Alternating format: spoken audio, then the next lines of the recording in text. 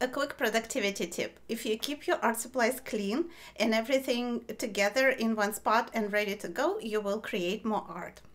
I have noticed that if I come to the studio and my palette is dirty from the day before and I still have a finished painting on my table, it's very hard for me to motivate myself to start painting. If I clean my table the day before after I finish, no matter how tired I am, if I change water and clean my palette and clean my brushes, it's a lot easier to start and a lot easier to get motivated. Even if you don't have a dedicated art space, keeping your art supplies clean and organized in one spot will definitely help you to overcome that reluctance to start working on a new project that we feel sometimes.